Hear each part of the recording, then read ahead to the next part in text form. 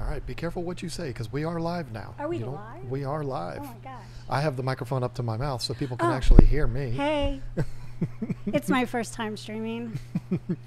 How is everybody doing? Uh, very excited to be here with you tonight.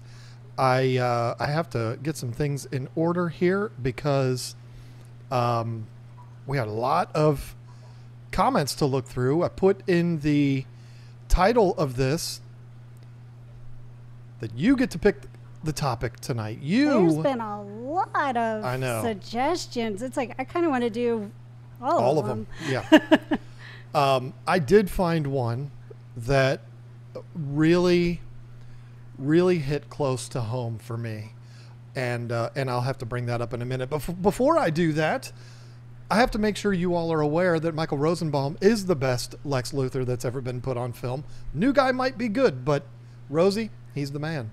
Have to make sure I tell you that every single week until he comes on here and says something in the chat, which he never will. So you're probably going to be hearing this for a long time. for the rest of our lives. I am very much backed up on chat. Did we get any uh, audio, video, good texts Oh. from anybody? I do not know. Uh, yeah, Guy Ashby said loud and clear. Okay, thank you. Right. Thank you, Guy Oh. Ashby. Now, here's the one. Uh, of course, we are going to entertain a lot of uh, comments from the chat tonight, but this one, this one was definitely something that I can relate to. Uh, it brought back a lot of memories for me because, you know, one of the first things to solving a problem is recognizing that you have a problem. Oh, That's one of the most difficult things in the world to do. Uh, Heather Green, who happens to be a channel member, I, I promise I didn't pick it this way on purpose. But she said, I'm here to announce I have an addiction. My addiction is MTS and it's not getting any better, it's getting worse. Now, I'm willing to bet that Heather did not put that comment up as a way to win the contest and get free food tonight. But guess what? You did anyway. So, uh, thank you for that, Heather. Listen, we've all been through it. We have all experienced that addiction. Um, before you know it, you can do a lot of things. You, you really do have to keep it under control because if you don't, you could do things like get a house specifically because it has a big garage. It'll accommodate all the kids too, but has a big garage that you can start your breeding operation in and put 127 tanks that you bought off Craigslist and, and drove halfway across the country to get. Spend all of your money, all of your savings, put all of that into it, and then uh, just a few years later end up being completely broke because of it. And then oh yeah, because oh, because then you wanted to open a fish store too along the way. Yeah. Well, you don't don't say you wanted to because you could have said no. But listen, then I was along for the ride. And it may- was fun. you may buy a house in a different state and move so that you can have an entire building that is occupied by nothing but aquariums. And two cats. And and two cats are in here too. It- It is a serious problem, and you know I've considered writing the uh, the the congressmen and senators from the state of North Carolina to tell them, hey, listen, we got a serious problem here.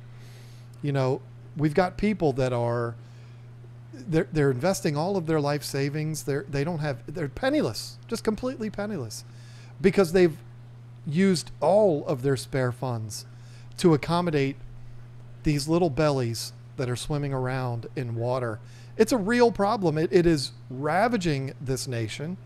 And um, I think it's time that the government started to take this problem seriously. So, Heather, thank you for bringing that to our attention. Um, and, you know, making us aware that you know, we really do need to, we need to start letting people know that this is a serious problem and it can ruin lives. I wouldn't go so far as saying ruin lives, but Or it could definitely uh, bankrupt you. it can set you back a few years. But I will say this, uh, in all seriousness, I this has to be said.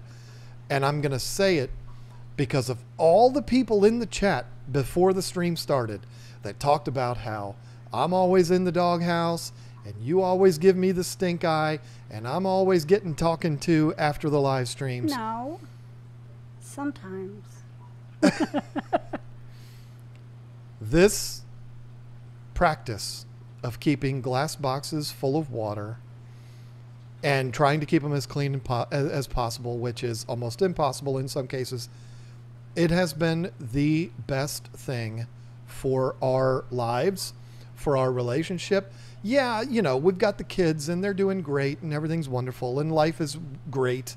Um, but this I- don't even want to call it a hobby because I think that's disrespectful, even though we call it a hobby all the time. This lifestyle, hey, you be you you behave yourself back there. This lifestyle has saved lives. It's improved quality of lives. Uh, I know people personally who have said that they, they possibly wouldn't even be here today. And I don't mean be in the position they're in, I mean exist had it not been for this silly thing that, that we call a hobby, but we should call a lifestyle. So, uh, all jokes aside, this really has been a special thing, and uh, we're fortunate enough to actually call it our livelihood. So, yeah. Um, but Heather, I feel you. I I've considered starting um, possibly like a support group for these type of people, and uh, you know we'll see where that goes. Um trying to secure funding now, and you know the whole non-for-profit thing and all of that. We'll see how it goes. But if we end up doing it, I will let you know. You're crazy. It's your turn now. Oh, jeez. Well, I'll end up getting off topic of the topic we're supposed to be talking about. That was it. We got we got to move on to something else now. So you're oh, so we're talking about a lot of topics. Well, Unless you had something you wanted to add to Heather uh, oh no, I agree. Heather Green.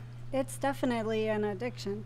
Um, I wanted to talk about some um, uh, shows coming up, some aquatic shows coming up in the next few months. I'm only listing, like in order, the next few months, just to kind of get get it out there for you all. Uh, primarily, they're in North Carolina. Excuse me, except one.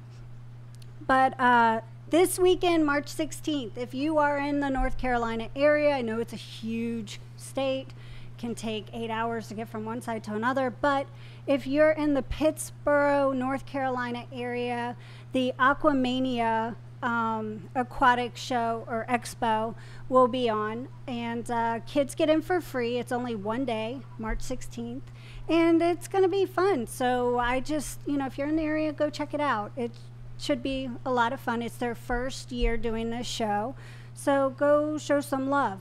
Unfortunately, we can't go. We had some other commitments, so we're not able to make that show. But next month, April 4th through the 7th, is the AGA, the Aquatic, Aquatic Garden Association, and that is April 4th through the 7th, and that is in Raleigh, North Carolina. Uh, it is not their first year.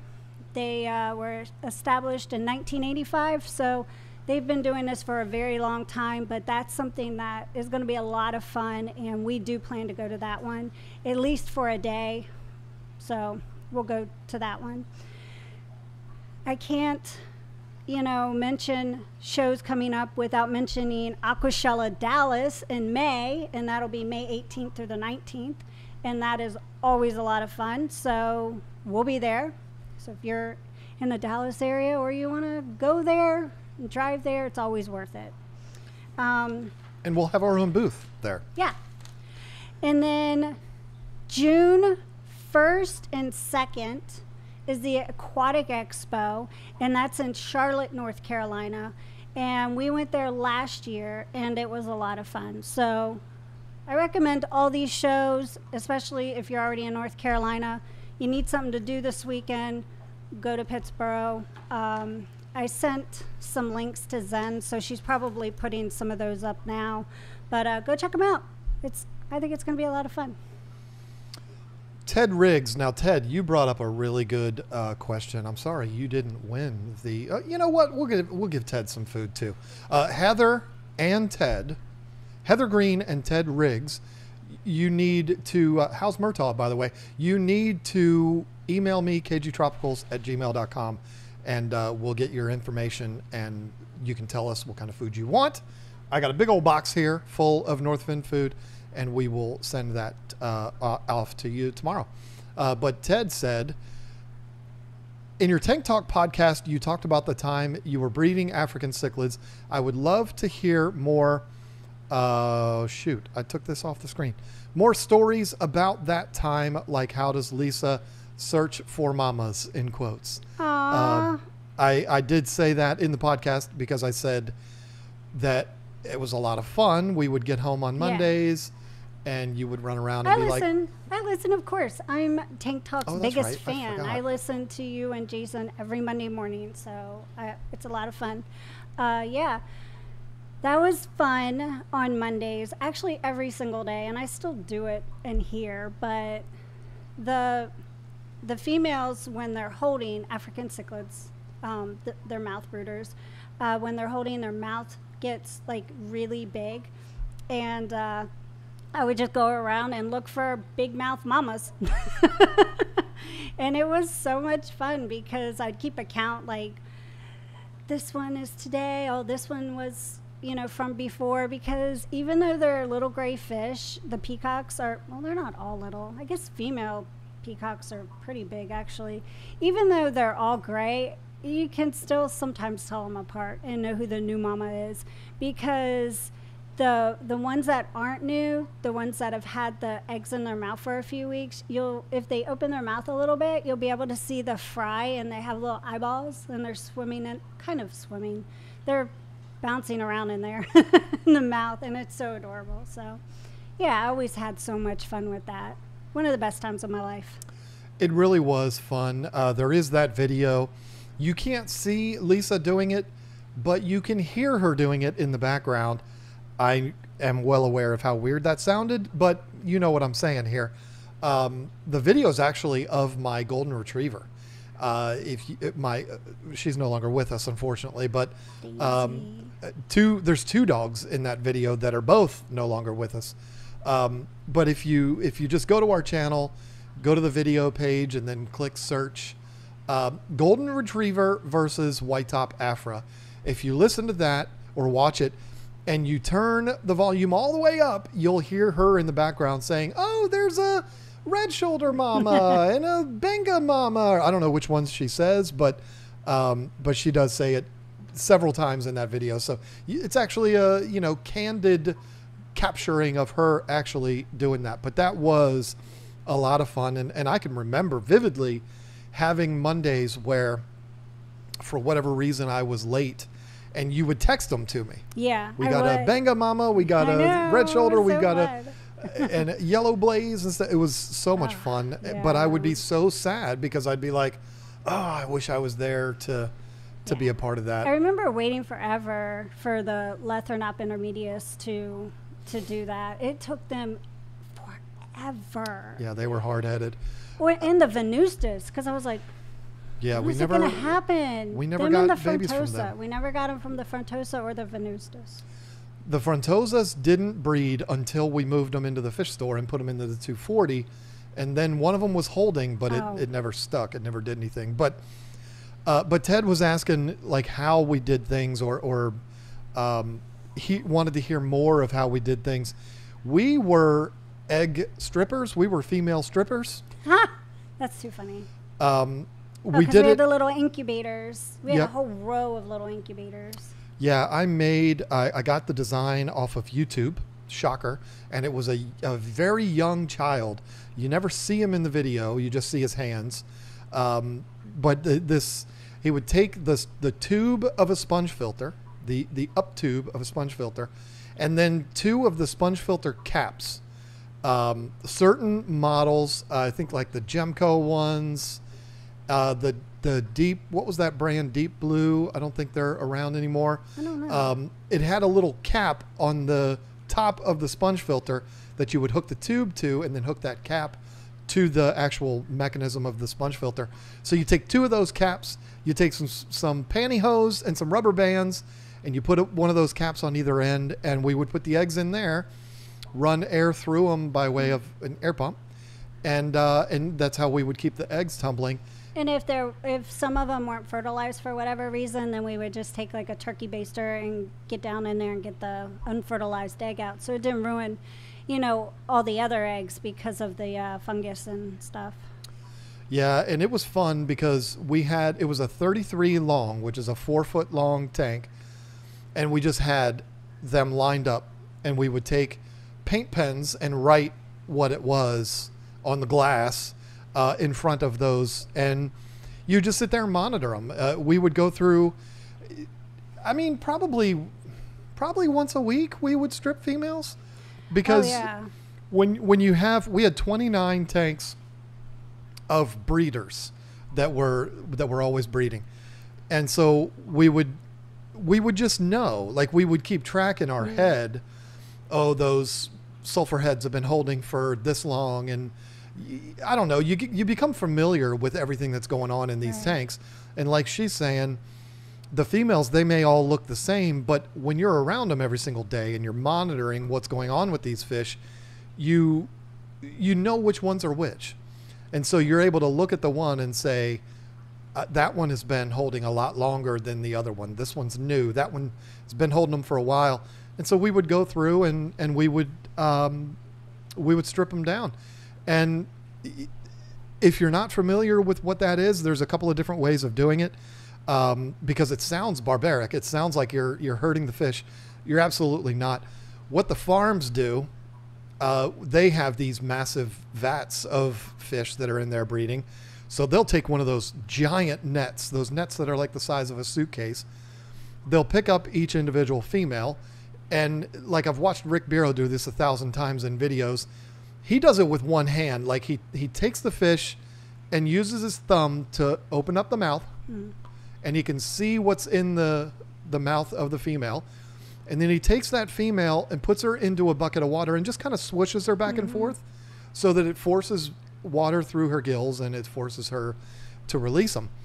They most of the farms don't strip until there's actually free swimming fry in their mouth or uh, I think they call them like heads and tails or heads or tails, heads and yeah, tails. because you'll have to take care of them. You have to put them in an incubator yeah. or a, a tumbler and stuff like that. But that's how they do it there. For us, we were breeding on a small scale, so I would. I actually did a video of this, mm. um, and I look really young in that video, where I would actually keep the the female in the water that she's already in, and I would put the edge of the tum of the egg tumbler in her mouth. Yeah and I would use it. Blah, blah, blah, I'm not taking a drink. I'm showing you like if this is the egg tumbler, I would do this and make her mouth open. The eggs would fall directly into the tumbler, and then I would let go of her. She'd swim off and do her thing, put the cap on it, and take it over and uh, put it in the in the incubator bay. There and was it that worked one really well. time that a fry got loose, and we didn't know who it belonged to. So there was just one single yeah. fish swimming in. it was so funny. Yeah, we had to replace the little pantyhose on the egg tumblers ever so often. We did switch to cutting up fish nets and using the netting, mm-hmm. uh, which lasted a lot longer than pantyhose. But there was a couple of different things that we used. Uh, but yeah, there was one that had a little hole in it. Fish went down through it, and uh, mm. I don't know that we ever really even determined what that fish was, but it was ah. cute. It was in there. Um, but that's what we did, and it was so much fun. And then when the when the when they were in the tumbler and they were no longer needing to be in the tumbler, which basically means there's no more egg. Um, if you've ever followed the development of mouth brooding fish, most of these uh, egg laying fish, obviously live bears aren't this way, but the the fish develops on the outside of the egg and then it consumes the egg. So for a while, you'll see a little head sticking out of the egg and a little tail sticking out of the egg. And then that egg will get smaller and smaller and smaller and smaller and smaller. And it becomes the belly of the fish. At least that's what I understand. And so after a few weeks uh, from the time of the deed, um, they would be free swimming fry in those little egg tumblers. And so each one would go into a 10 gallon tank. If we had two egg tumblers with the same fish and they were smaller broods, like maybe 10 or 12 from each one, we would put both in the into one 10 gallon tank to grow them to an inch or so in the 10 gallon tank and then we would move them up to either a 33 long or a 55 gallon to grow out. And yeah, we had to constantly do water changes to get them growing because if you want them to grow fast, you want to feed them a lot. And if you feed them a lot, the water gets messy. So you got to do a lot of water changes.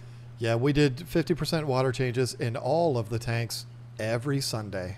And that was a lot of work, but we loved every single minute of it. Well- it was a beautiful thing. I'll never forget when it used to be me just coming in and feeding the fish with you. Then you hurt your back, and I learned how to do water changes. and it's never stopped. I've been doing them ever since. And the kids learned how to do them too. Once you realized I knew how to do water changes, you're like, you're helping. Just like once I unloaded the dishwasher without being asked, now I'm expected to do that all the time. Mm-hmm. She's like, the dishes have been in there for two days. What, what are you doing? They're clean. The dishes are clean. I told you I don't mind doing dirty dishes. I just hate putting them away. that is so backwards from what is common sense. But anyway, so that was our process. Uh, it was a lot of fun. It was something that I wish we had not stopped. I wish we had just kept it the way it was. Now, things would have definitely gotten uh, turned upside down when the guy sold the house and we w- had to move. It was fortunate for us. All of the tanks were already over at the fish store, which yeah, that would know, have been a nightmare, honestly. yeah, we had to move five kids, and well, one of them was going off to boot camp, but it, it was a disaster, uh, and that would have been even worse if we had to move all the tanks with us. But when I think back to those times, it is the best times I've ever had as a fish keeper. Um, and I've said it more times than than I can count. It's I loved it so much, and it was one of those things that you. It's like the Cinderella song. You, don't know what you got until it's gone. We loved it, but we didn't really know we were loving it so much until it was no longer a thing. So that brings up the next question. Are we going to do it again? No. Eh, I mean, I sh- I shouldn't say no. We don't have any plans of doing that. If I was going to do that again, I would do it very differently than what I have now. Um, we live in Northeast North Carolina. The winters here are not harsh. We did not have one snowflake fall uh, this year, but we get like two weeks out of the year, right around Christmas, where at night the the weather will get below freezing. uh, Um, it's not that often. Yeah, I mean, it, and it maybe not even be this year. I don't even think it was two weeks. It was maybe just a few days. Um, but that and I learned a lesson from that. But go ahead. I oh, learned, with the yeah. pond, yeah, uh, yeah. There was one one day where it, we had a. It was the time everybody experienced it. There was like a huge cold front that came through the whole country and ruined everything for everybody. Um, that was the worst of it for us. What I'm getting at is we don't necessarily, even though we live in the South and it's really hot here in the summer, we don't really live in a climate where we could do outdoor African cichlid breeding. Yeah, we can do that. Um, If we wanted to breed goldfish, actually, no, because in the summer they would be too hot. yeah. but, you know, there is, and I, don't worry, Lisa Marie, this is not going to be a thing. Don't worry. Unless it was offered up to us for free. But see, listen, we're surrounded by 1,100 acres of farmland. It's spread out. We're immediately uh, surrounded by 75 acres, but the farmer that owns these 75 acres owns 1,100 acres throughout the county. Right behind his house, that he lives directly across the street from us, he has four former poultry barns. If you've ever seen poultry barns, They are very big buildings. They're not like the size of a football field wide and so they're skinny but super long. The buildings are 500 feet long. Oh my gosh. I'm, Five football fields. I wish I had one. If I just had one of those, that would be my cat rescue. I Well, I was gonna would, say, I know. would love to take one of those and just transport it on some heavy duty equipment, machinery type of stuff, and know if they bring make one. over here, and I could turn it into a cat rescue. It would take up. It would go from one end of our property all the way to the other. Yeah. it would. It'd be It would massive. be so glorious. I don't know if they're 500 feet long or if they're 125 feet long, but all four of them combined to be 500 feet. I'm not sure, but they're really, really long buildings, and uh, they ain't being used for nothing. There are a lot of farms out here that run poultry barns for Perdue, um, and that's what he used to do. He had, uh, and I don't know. I, I guess it was meat chickens. It wasn't eggs. I've never really talked to him about it. I don't think it was eggs. Um, but he, these poultry barns are just sitting there. Like he was making money from uh, Perdue, but then it just got to be too much of a headache. They wanted so much done. Yeah. Like they they were asking a lot. Basically, Perdue comes in and says, okay, you have to build this. And if you build this, we will rent it from you. We'll rent the space from you for these chickens. And then you have to take care of them. And I, I don't know. It's a whole big thing. Uh, this is why I'm not a farmer. But the old man, and he's 80 years old, he was so like, awesome. he was like, it just wasn't worth it. I got tired of listening to them. They made all these demands. I just told them take their chickens and get out. yeah. So he didn't. Those buildings have just been sitting there. I know. I could really use one. I mean, a whole lot of those burial vaults would fit in there. I'm just saying. Oh, you're talking about for fish. Yeah, Oops. those buildings are so big we could do both in one building. One on each side of the property. We just got no. We'd have to go over there. What? Maybe he'll rent them to us. You never know. Oh. You I, think? I bet you I could go over there and I would say, hey, listen, I'm gonna give you a hundred dollars a month. it's better and than what he's getting You now. ain't getting nothing right now. You're paying taxes on it. I wouldn't do that, but uh, there might. Who knows what is even in there? But it's probably nothing but small lights because that's all they ever really needed. Uh, you know, could we could definitely uh, we definitely set up some burial vaults in there and and breed African cichlids for real. But I'm I'm not I'm not interested in that. That's too much. Uh, I'm still interested in a cat. Of course you are. there. We're going to figure that out on here. You don't have to worry about that. So anyway, um, yeah, but again, that was some of the most fun we've ever had, and I I reminisce about those days very fondly. Uh, Kalen Shepard, before the stream started, gifted a membership, and then he said, in the spirit of giving, I gifted a membership. That was very nice of you, Kalen. Appreciate that very much.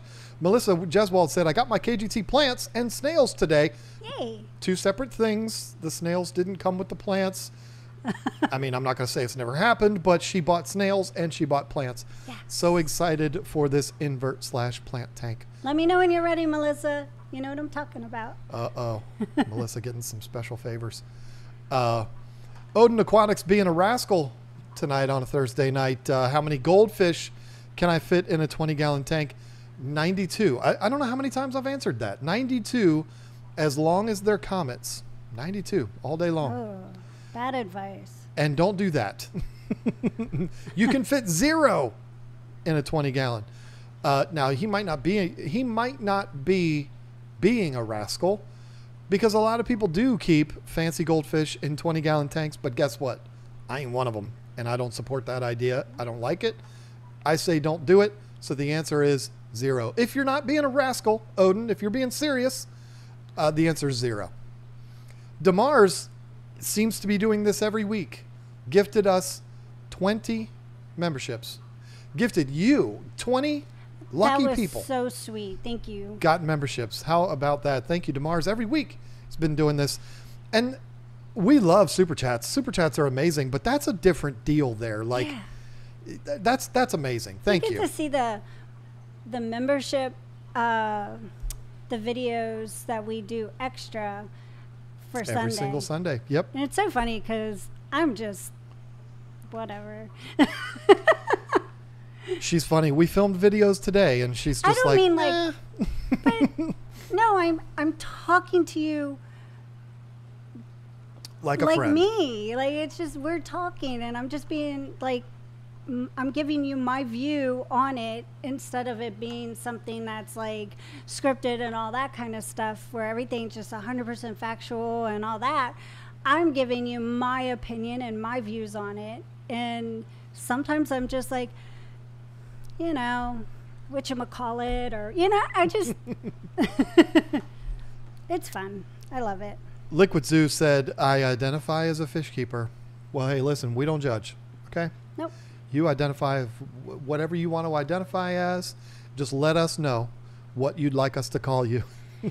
but I, I too also d- identify as a fish keeper and a dog keeper and a cat keeper reluctantly. Oh my and gosh, the cats. We've had so many new ones this week. It's crazy.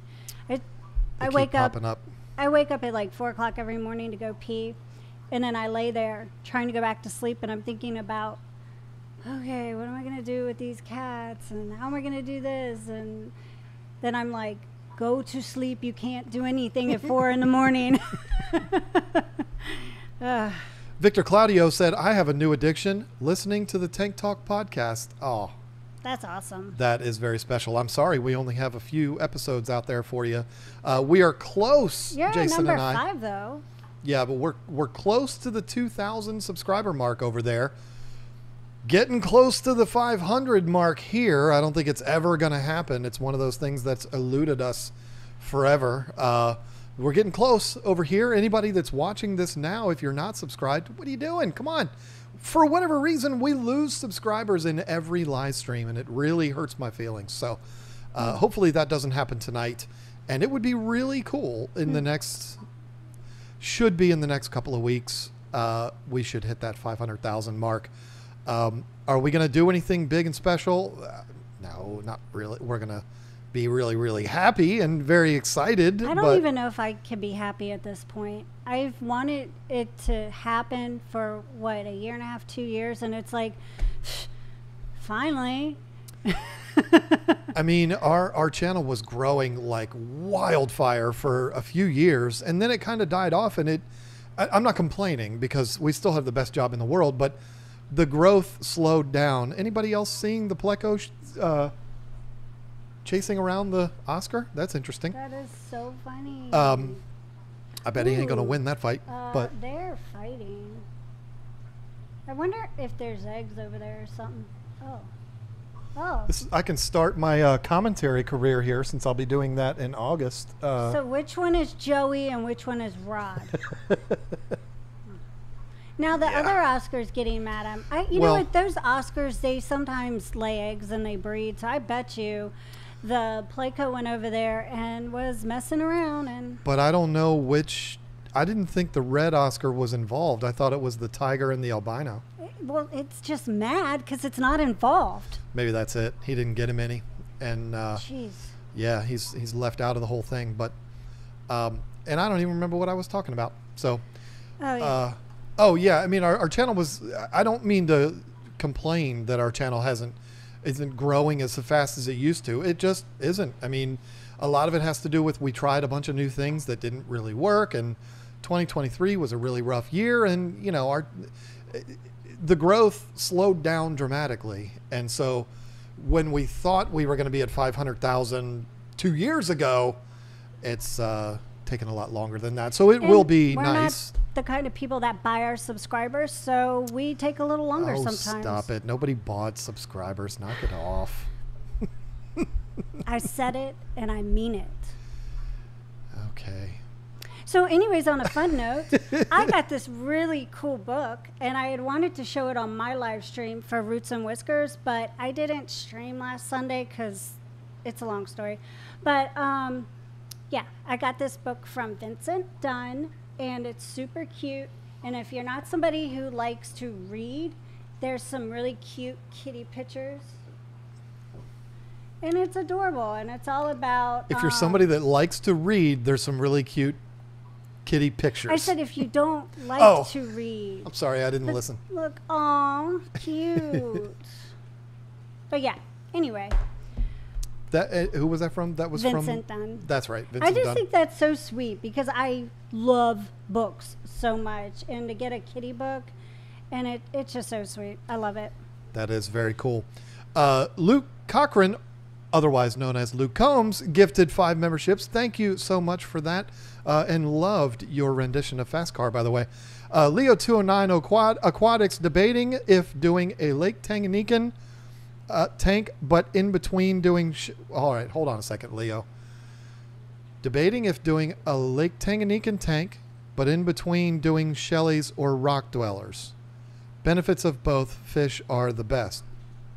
Wait, did I cut this off here? Uh, P.S. African fish are the best. Yeah, sorry. I, I gotta make this larger so I can actually see it. Um, Shellies are fish that we have not kept. That is not something I, that I want to because they're so cute. I really want Shellies. I think I might get a tank for those one day. it's one of those that we have always talked about wanting to have and just never have. Uh, Jason has one of the coolest Shelly tanks. I love the concept of just putting all the big shells in there and letting them do their thing. I think it's adorable. I and the fish are so teeny and they're cute.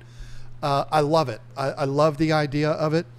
Um, I, I don't know as far as benefits, uh, the benefits that you would get are the same as you would get uh, for anything else. You would get the reward of providing them with what they need to not just survive but to thrive, and you get the, the good feeling that you'll have from that. That's that's what we get in all of this. So uh, that's what you could expect. And the other benefit is you walk up to it every day and you go, "Oh, look how cute they are because they're so teeny and, and adorable." There you go. That's the other. That's the other one. um, Jennifer Anderson, best friends with Nicholas Holt, by the way. Yeah. Uh, after her. She's so awesome. a whirlwind tour of the southeast, the plants and snails landed today in pristine condition. FYI. Wow, that's uh, two in a row that that's happened with her, and one of them was in the dead Oh of my winter. yeah. But where she lives, that's not as big of a concern. But uh, but yeah, that's um, that's good to hear. I'm glad.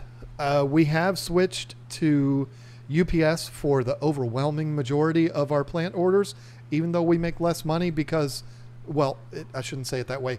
It costs us more money um, because uh, it costs more than the Postal Service. But if I can spend 50 cents more and it get to you two or three days sooner, I'm going to do it. But Yeah. some places, uh, the Postal Service is, they say two days, and UPS says five days. So you know, I can't, I can't do that. But, um, but yeah, that's that's good to hear. And Jennifer, I know where you live. It should not have know, to be that so hard to get stuff. I don't understand it. It should be so fast. I had to call my doctor's office last week because I was supposed to have something sent to me like three weeks ago. And I just wanted to know if it was stuck in the mail because it's like, um, hello. And if you And- call the pers- postal service, they're like, I don't know. That's their response. I don't know. What does the tracking say? The tracking says it's in Bermuda. Well, then it's in Bermuda. okay. Thanks for your help. I, I mean, I hate it. I, I hate because we rely on them so much, but uh, we don't rely on them nearly as much. And the very sad thing about it is I don't think they're going to care. You know, we we ship a lot of packages every week. It's it's ridiculous how many packages we ship every week. And our postmaster treats us like the most important people in the world. He really does. He's a good guy. He comes to our house to deliver stuff sometimes. Yeah, he's he's awesome. I, I cannot say enough good things about him. And you know, I've gone to him. We've gotten to know him, and I've gone to him. and I've been like, "Are they going to care if I say, hey, I'm taking my business to UPS? Is that going to get them to straighten up?" And he's like, I wish I could tell you that it would, but Mm. I, you know, I mean, it, it means a lot to him, but everything above him, and once it leaves our area that he is responsible for, it's no longer his. You know, There's been a lot of shady stuff going on in Richmond, though. Like, there's people that have been arrested because of things being stolen. Like I believe it. gift cards and stuff. It's multiple people there, so it's it's really a shame. Yep, I totally believe it.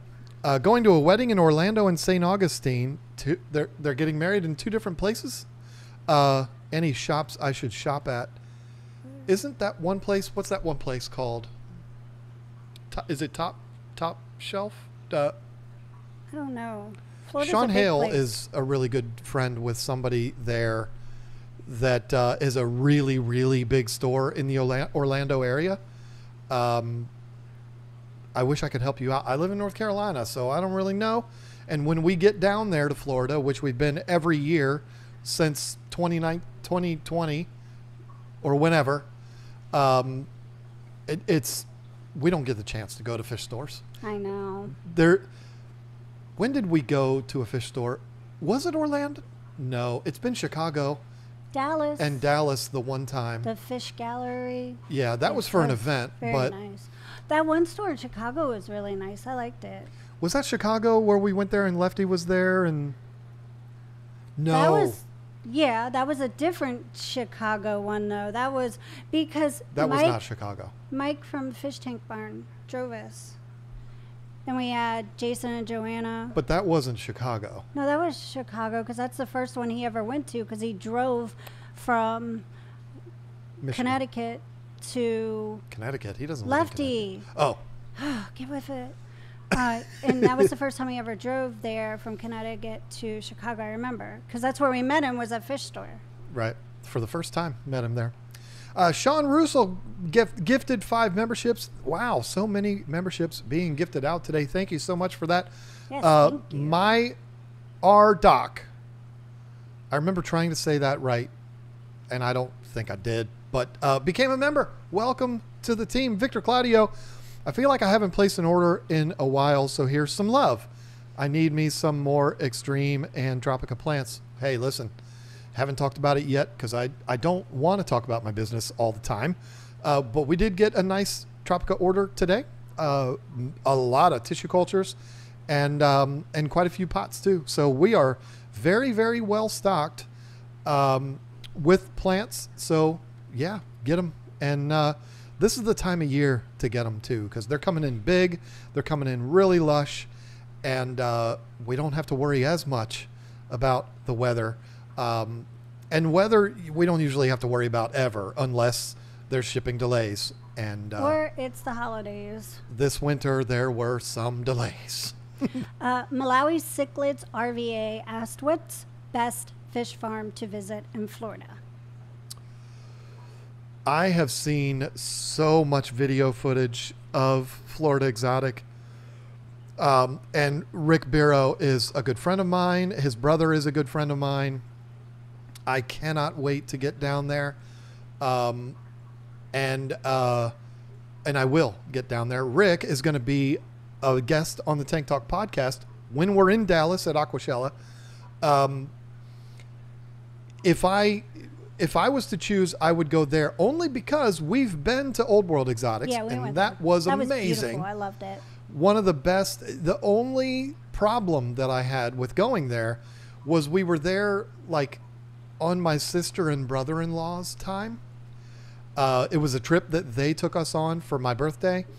Uh, we went down to the Florida Keys and stayed at the resort where they filmed the show Bloodline at. And so when we were driving from Miami Airport down to the Keys, we stopped in Homestead. We went in there. And so I wasn't able to really just like take my time and soak it all in. I kind of felt like I was in a hurry, even though my sister was like, hey, do your thing. I know this is fantasy land for you. Don't worry about us. And they walked around with us and they enjoyed themselves too. I wish I could have had all day there. That would have been amazing. Um, the only problem, I don't remember who you said that was that asked that. these are not farms that are just walk up and say hi Yeah, and they're and not open to through. the public. They're not at all opened up to the public. They they're working operations. They have a lot of work to do, and so it is hard to get on these farms. Uh, I know the people, so it makes it a little easier for me. But even even if we wanted to go, I couldn't just hit up Rick and say, "Hey, we're in town. We're going to stop by." He might be okay with that, but more than likely he'd be like, "Dude, what do you? I, I got to pack twenty-seven boxes of fish. I, I ain't got time for you." You know. So these are these are working operations that um, you know they're not kept in show quality condition there because there's work going on in there, and so they're not always uh, open to guests. I'm just I'm just being honest with you, and I wouldn't be either if I was them. So I can't blame them. Um, so you you know just be aware of that, and don't be insulted if you email them and they don't respond. It's not that they're being jerks. It's just you know these are small operations. They're they're big operations, but there's only a few people working these operations, and so they're you know they only have so many hours in the day. But those are the two that I would put um, above anything else. Now, Imperial Tropicals, where did he say? He said he was going to Southern Florida? Because Imperial is in, uh, they're near the Tampa area, I believe. Um, they might be more open to it. I'm not sure. I've never been there either, but I, I would love to go there. Um, yeah, I, I hope that helps. I probably didn't. Uh, Vincent gifted 20 memberships. Wow, th- that's like Wow. 100 gifted memberships this He's the one tonight. that got me the book. Nice. that is awesome. I mean, as if you haven't done enough, Vincent. Good grief. Uh, Sean again said, Lisa, I love you and John. Oh, he said, your name first. Aw, thank you. I want as many folks to find you guys as possible. You keep this hobby fun, and I don't even have a tank yet. Whoa. So you're one of those people that are doing research first. That's awesome. And that's a name that we've seen in here for a while. So that man is doing some research, Jack. Let me tell you something. You're doing it right. Sean, when are you going to do it? I mean, come on. There's only so much preparation you can do. Get get yourself together. Go get you a tank, even if it's a small one. Start it up and uh, start having some fun with it. That car is driving. Oh, they passed. Very slow. Uh, Finsanity, USPS is trash. All caps. He said that so loud.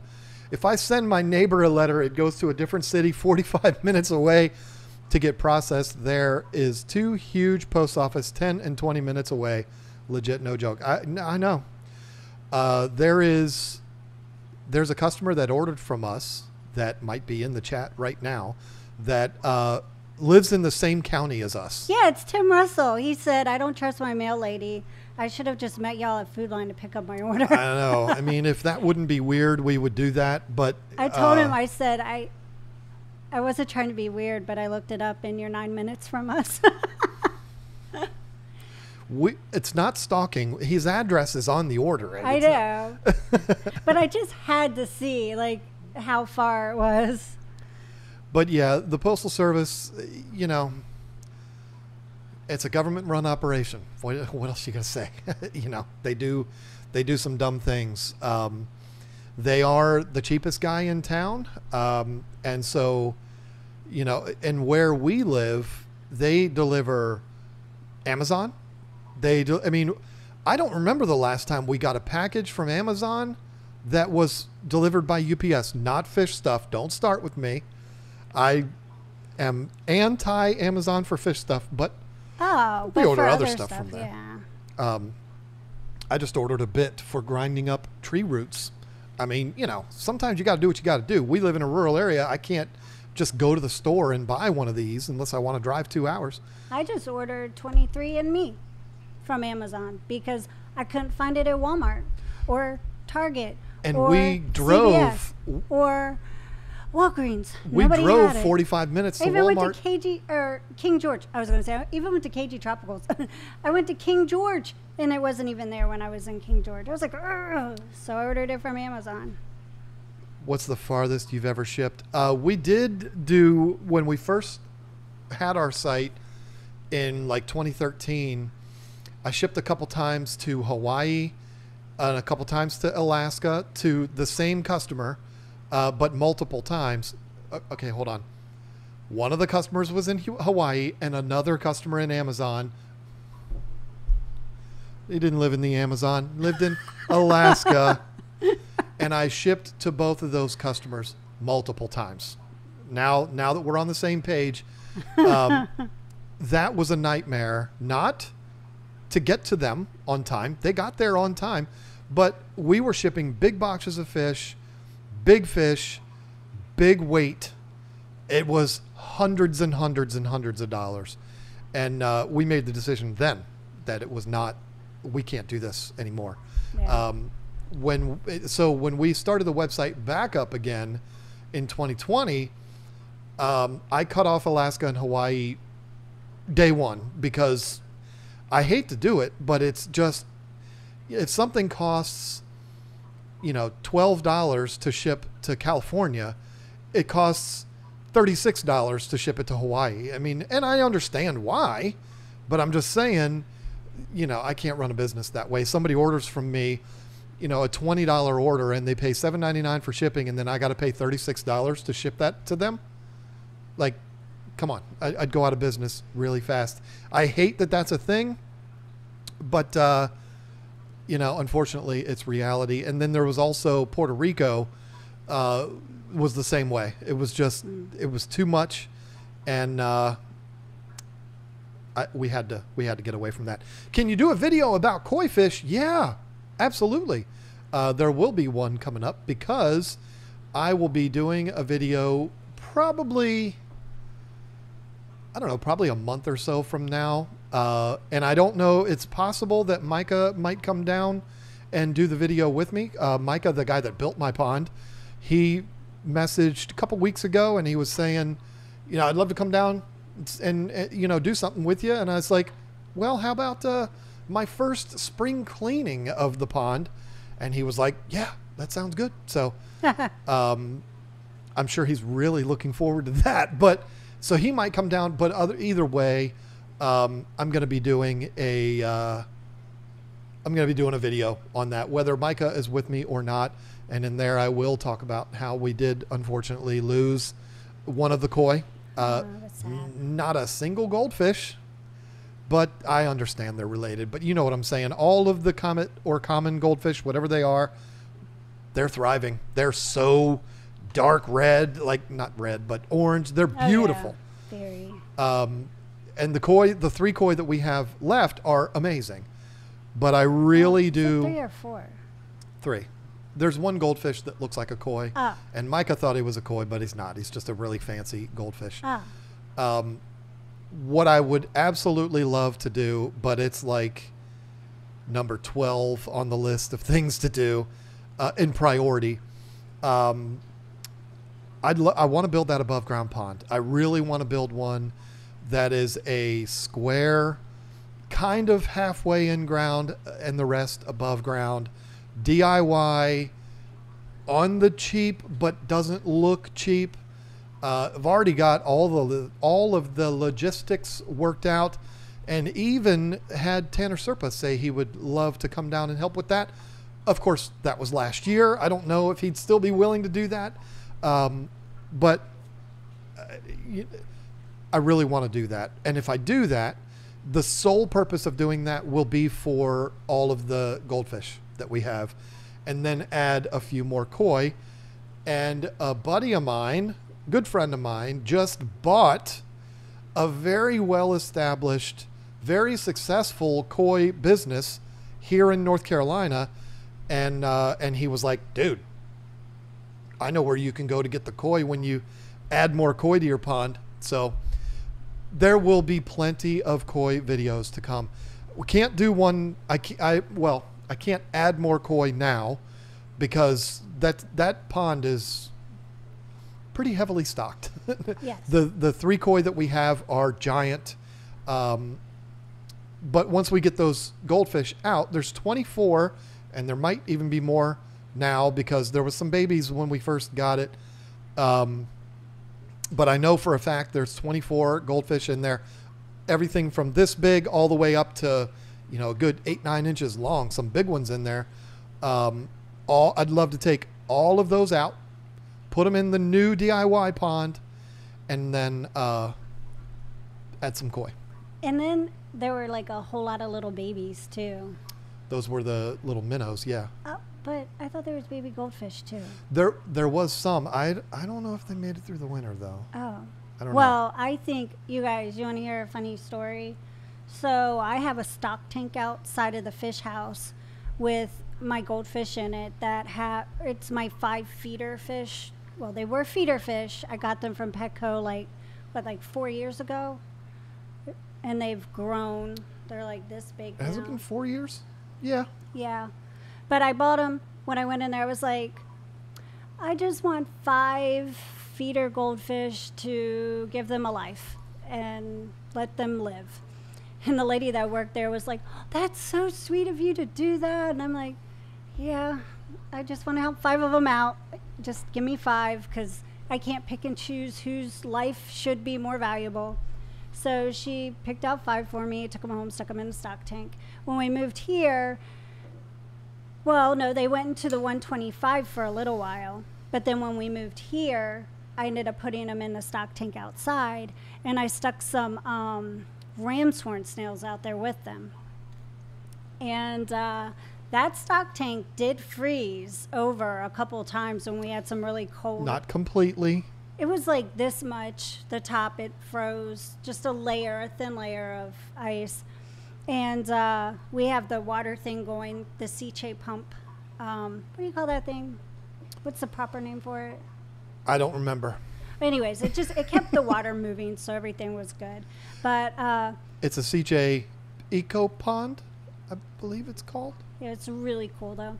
So I went out there probably like two weeks ago thinking I'm not going to find the ram's horn snails. Uh, the goldfish are good because they'll come up and swim around. I know they're fine.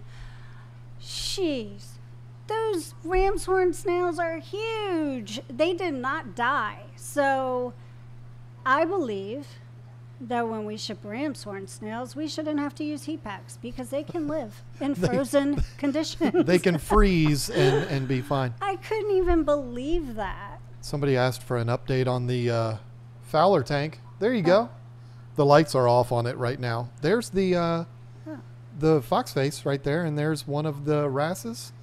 There's the angel. Yeah, that's not much of an update, but uh, I will be doing a video on that. I have a. It's nine o'clock. I'm going to tell you all what. I'm going to try something that I think will be a lot of fun. Is there a slow down sign in front of our driveway? You know what it is? 875,000 people are watching this live right now, and it's like a big thing, and people are driving by to see what all the hubbub is about. I bet you that's what it is. Well, it's because it's all lit up. But you know, oh my gosh, I actually saw that that dog was out there running around again today. Won't Oh. let you get anywhere near it though. It just takes off running. Uh, I was petting it yesterday, but anyway, um, I am going to do some videos in the very near future. One of them's already been filmed, and I'm working on another one right now. And there's also one for Lisa's tank, which guess what? It is full of water and running as we speak. It is a fully functional tank. It is running. I'm so There's excited. no fish in it yet, but it is. It's going. I don't know why there's no fish in it yet, but Because I'm Um, not ready to put the fish in it yet. It has to cycle. I have been obsessed lately with a certain type of video. I'm not going to talk about what it is because a lot of people steal ideas on YouTube. But uh, there's a certain type of video that I have, am absolutely obsessed over, and I'm going to try something similar uh, with these videos that, that I'm working on. These will be videos that will be like bonus videos each week, not our, you know, our Sunday videos will be like normal, but these will be bonus videos, um, probably upload on Saturdays, and um, you will get an update on the the saltwater tank in one of those videos, and watch it bomb because nobody watches any saltwater videos on my channel. I understand. It's it's understandable. Um, but there's going to be very close up, very intimate uh, updates on all of our major tanks that we have in the fish house here. Uh, this one, but all three 240s, the new 300, your 125s. There's going to be a lot of videos. Oh my gosh, I am so mad about my 125, my Planet Aquarium. I moved some Cory cats from my other 125 and I stuck them in the planted 125 and they made it all everywhere. So, yeah, I'm a little upset about that. I had to do two water changes, one yesterday and one today.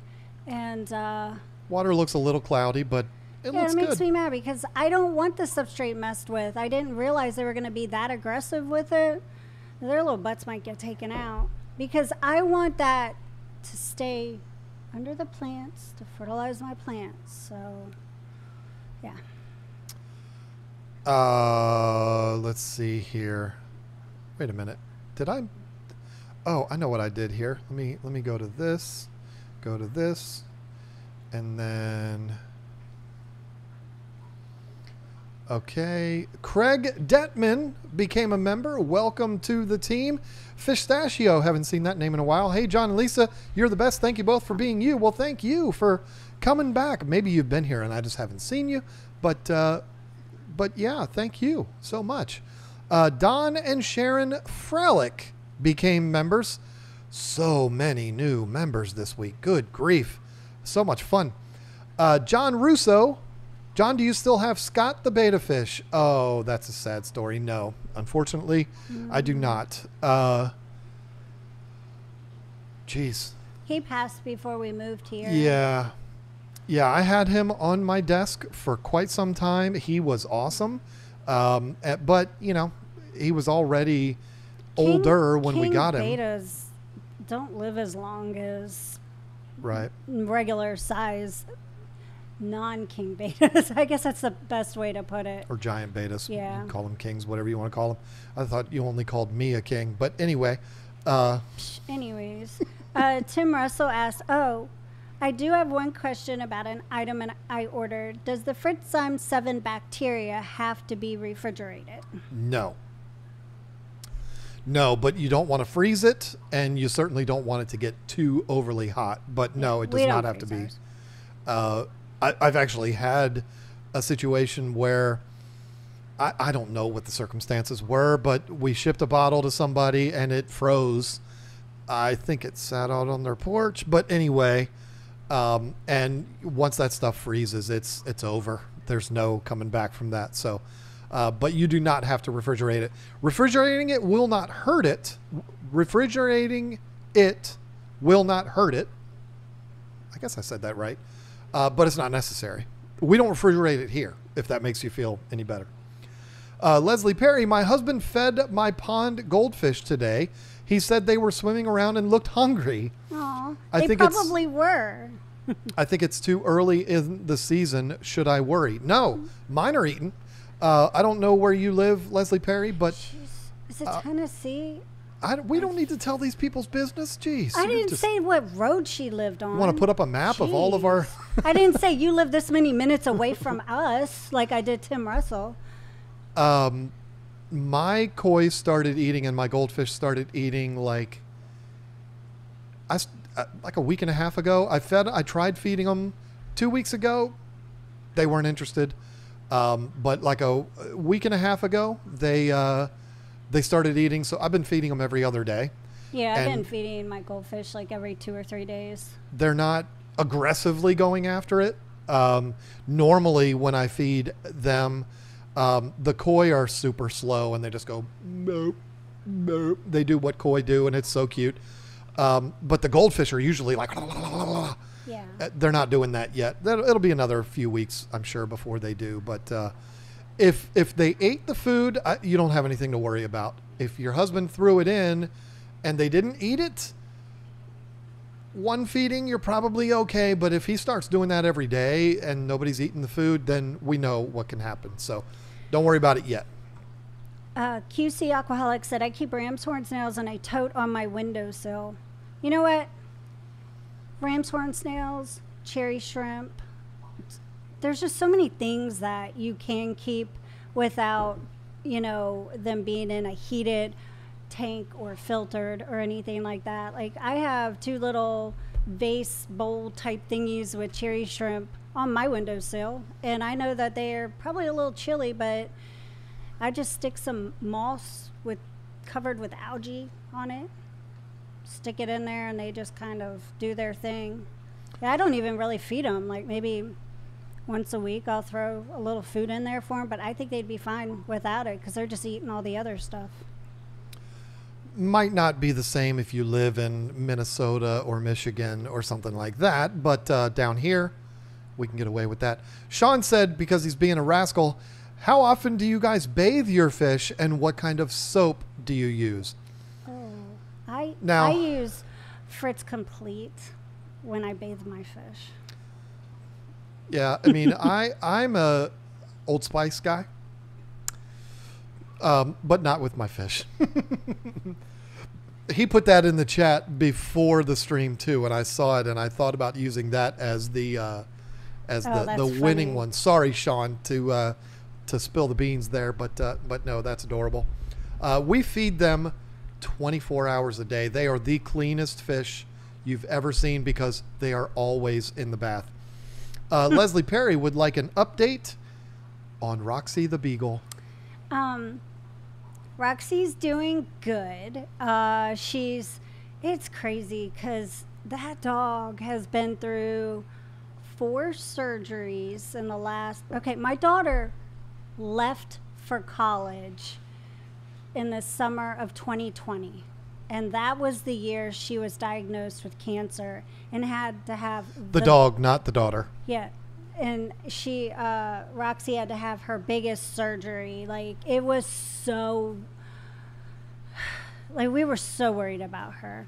And uh, she ended up having to have another surgery almost four months after that. And I was like, oh my gosh, am I going to have to do this with her all the time? Because I don't want her going through these surgeries. That is no way for her to live so that I can keep her around forever.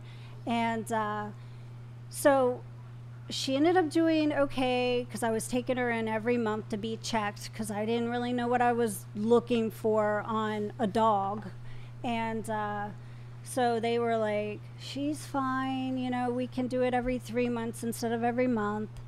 But then right before we moved here, it was it was like two or three weeks before we moved here, they said that they found another one on her. So they another lump and they wanted to take it out and they were going to test it. And so they did. Thankfully, they were able to get her scheduled really quick because they knew we were moving. Um, we went through Eagle's Nest, my favorite, by far, my favorite um, uh, veterinarian in the world, Dr. Judge. And she, she did the surgery. She said she should be fine. They tested it and everything, and it wasn't. Uh, I think that one was benign, thankfully.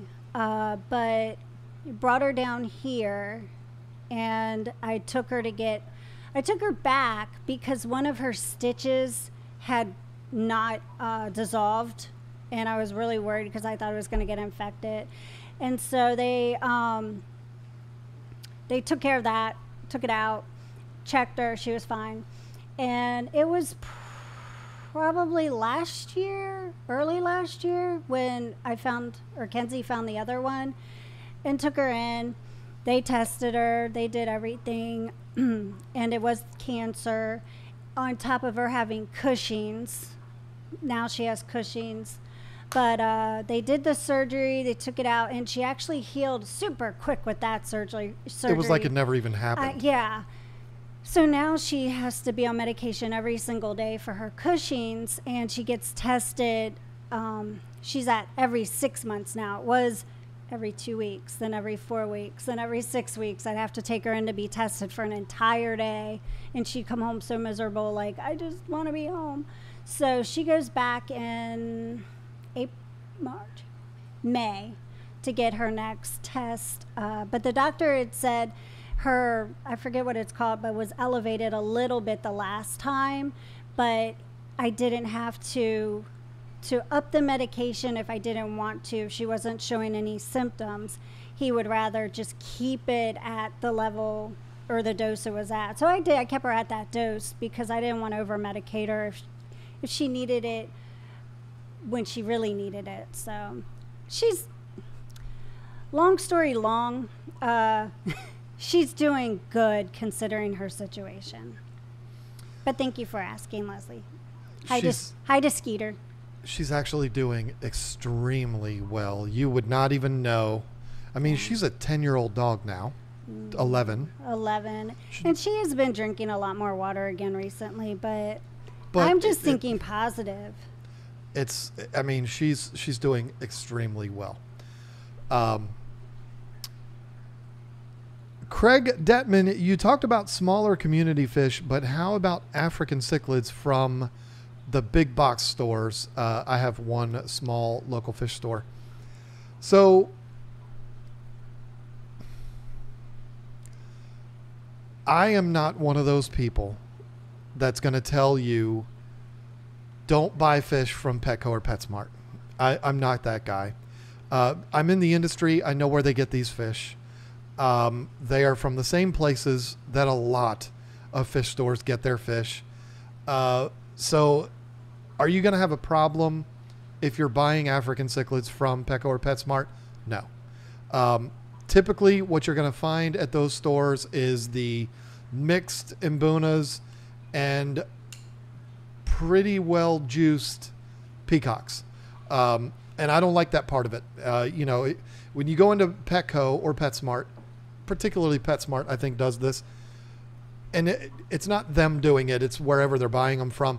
If you see the little two inch peacocks and they're screaming with color, don't buy them because they're doing things with hormones and the foods and all of that kind of stuff.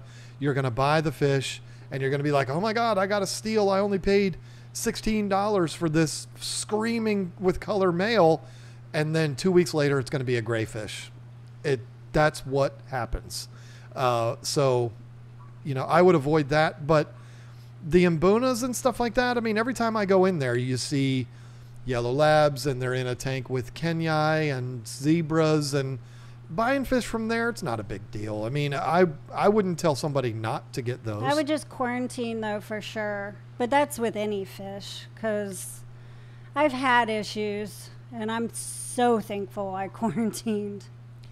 I do think that you're you're going to get a better product if you order your African cichlids from a Live Fish Direct or an Imperial Tropicals. Dan, I don't think Dan Dan sells many Africans, but um, there's a lot of very reputable online retailers that I, I would much rather see you buy, even mbunas, whatever. You can pick and choose what it is that you want. Whereas at Petco, you're going to have one tank that's going to be a mixed, you know, unsexed. Get specific things. Pay a couple more dollars and get them from these reputable retailers that are getting them direct from farms in Florida and stuff like that. I mean, I, for us, when we had our store, the major shipments of African cichlids that we got were from Florida exotic fish sales. You're not going to find a better source in the United States than those fish. PetSmart and Petco ain't getting them from there. They're getting them from overseas, big farms, just like all the tetras and all the bettas and everything that you're going to get from those stores. So, you know, it, it is what it is. Does that mean they're bad? No, but I would take a fish from Florida Exotic over, well, really anywhere else.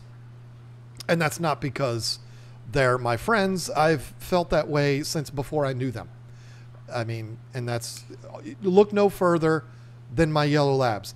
The peacock and hap tank that is behind Lisa here does not have a single fish from them in it, and that is a travesty. I um, know. I want to get in touch with Rick and see if we can get some for you. I want to I want to figure out something to do. I want to get all the females out of there I know that's mean. I don't want to kill them, but I want to get them out of there. You. Maybe I know. that's what I should do. I should start a female peacock and hap tank.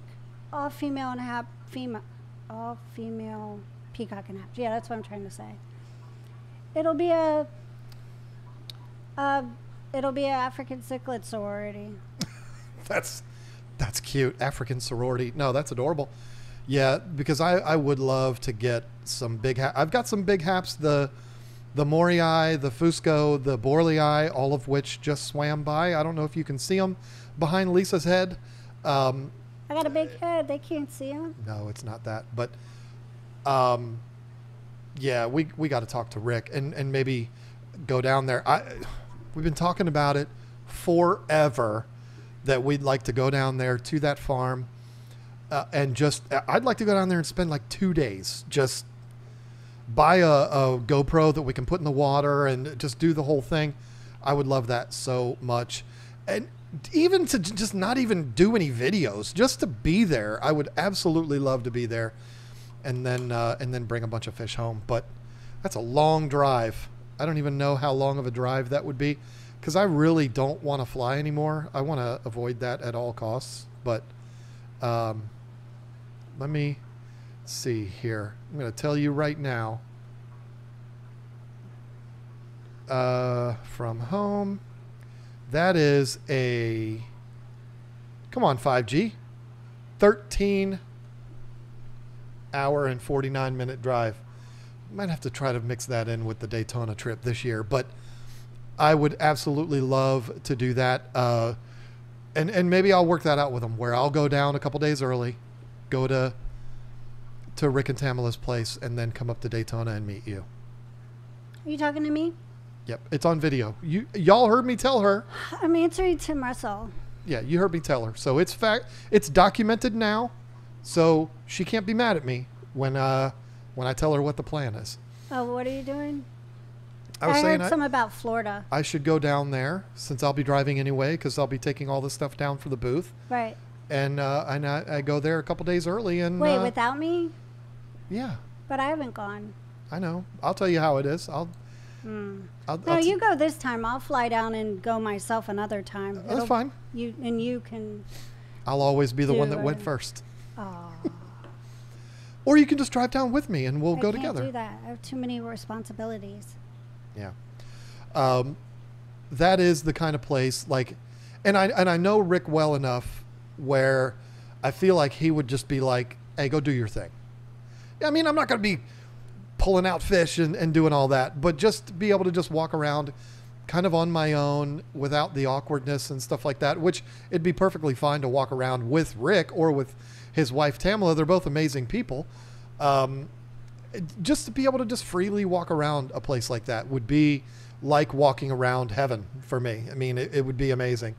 Um, That would be so awesome. I'm going to have a nice long talk with him in a couple of months in da- in Dallas. So we'll have to uh, see what he thinks about working something like that out. We'll we'll we'll figure it out, but that'll be fun. Uh, I think I missed something here. Got 12 minutes left. Has anybody commented about you staring at their phone yet? Oh, I don't know. I'm just answering people. I haven't seen any.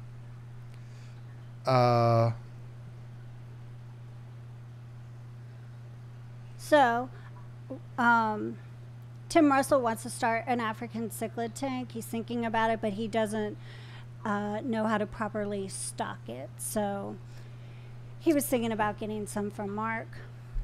But you know, I think Mark would help him out, figuring him figuring out, you know, which ones should go together. It's not that hard. You just want to make sure you have the right amount of males. So. the best way to do it, and you can do this through Mark. I mean, he he will definitely help you out. Um, the best way to do it to have the least amount of headaches. Uh, we're going to talk about that that in this week's uh, video that's coming up on Sunday. As a matter of fact, we talked specifically about peacocks in the members video. So all the 548 people that are watching this that got free memberships tonight, make sure you check that out on Sunday. the easiest and least heartache inducing peacock and hap tanks are going to be those that are all males. That is either a go cheap and see what happens kind of thing, or you can spend big money. Um, my vote would be to spend big money. I ain't got big money to spend, but uh, you know, if you if you had to do it and you want to do it the absolute best way, spend big money. And here's what I mean. If you go, it doesn't matter where you go. If you go to an Imperial Tropicals or a Live Fish Direct, which I highly recommend both of those websites, they're both absolutely amazing. Um, if you're going to buy males, I mean, some of the Hap males, you're going to spend They 80. get, and they get huge, so Yeah. you can't have a small tank. You need to have a larger. Well, tank. yeah, I'm assuming he's already figured that part out. But I mean, a, a large redfin borlei, which there's two of them sitting right behind Lisa right now. One of them is right above her right ear. Um, that's like an $80 fish if they're the size mine are. Um, but if you buy them five inches and they're males, you're going to probably spend 40 and a half to $50 per fish. This is why I say it's expensive. If you're going to put, you know, 16 fish in a 200 gallon tank, um, which that doesn't sound like many in a 200 gallon, but with haps, they get really big and 16 is actually a lot. Um, it'll take them a while to, to really fill it out, but you know, you're going to be spending $800 on fish if you're buying, I don't know if that's the right math, but that's a lot of money. But how much did you spend on the tank? How much did you spend on the filtration? How much did you spend on the light? And that's what that's what blows my mind about this hobby. I should do a video all about this is that you hear these people talk about and I'm not saying you Tim, I'm just saying so many people will be like, "Yeah, I got this 150 gallon tank and then I bought these three Kessil lights and I got the two FX6s and I'm ready to buy my African cichlids, but I don't want to buy males because they're $50 a piece. It's like, but dude, you spent $3,700 on your tank. You're afraid to spend a few hundred dollars on fish? It's preposterous, I say. I laugh because of my tank. Oh. yeah, that's kind of the opposite of what I'm talking about. Y'all will know very soon what uh, what fish she's putting in that tank. Um, but yeah, it's completely the opposite of what I'm just talking about. But but that's the thing. It's like it's like buying a Ferrari and getting a V6. You know what I mean? Which you can't do that. Or, Or a Mustang and a, getting it in a V6. okay, I'm not making fun of anybody that we know, but Like your putting- oldest son? putting a Oh. lift in a truck that is Two-wheel drive. Yeah, sorry, I can't say. I'm just gonna shut up. But the same person we can make fun of for having a muscle car with a rubber band engine in it. It's a Mustang with rally stripes and it's a stick shift and it's a little V6. It's a beautiful car.